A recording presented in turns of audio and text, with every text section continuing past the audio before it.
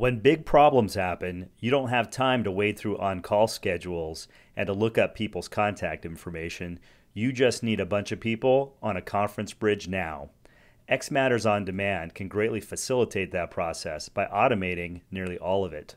All I have to do is go to a web browser, sign into the system, and then navigate to the messaging tab.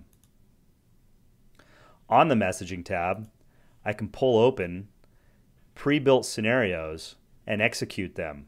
The scenario that I'm going to execute is for an Oracle Code Red. The Oracle Order Management System is down, so I built this process to allow me to send out a message. I've already built that out as part of my planning.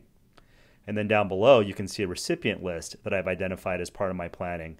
I'm trying to get an Oracle DBA who's on call, myself, and I actually need a Unix person as well. So I'm going to modify the recipients for this conference bridge and I'll go ahead and I'll add the Unix team, save it,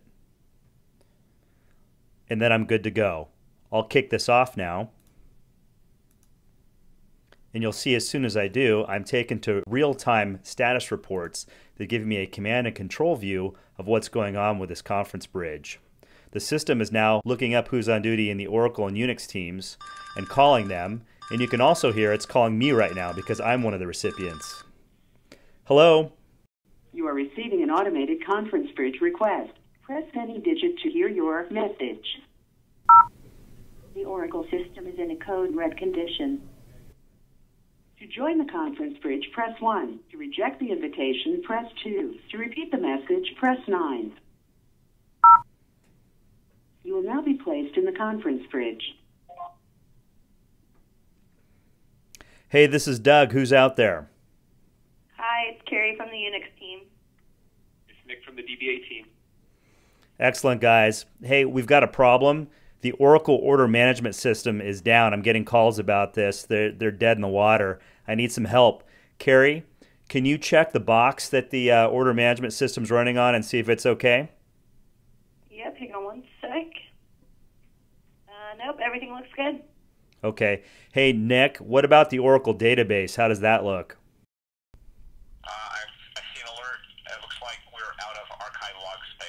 I, I can have more added in 10 minutes. Excellent. Okay, well, why don't we reconvene in 10 minutes? Thanks, guys. Thanks, Doug. So you can see throughout that conversation, I'm presented with a real-time status report showing me who the participants are. I had mute and kick off capabilities, so I could either mute them or kick them off the conference bridge. I could invite new people to the conference bridge using the instructions that are here. And I also have a complete audit record for everything that happened who came, when they came, and when they left. So, with that, I completely automated that entire conference bridge process.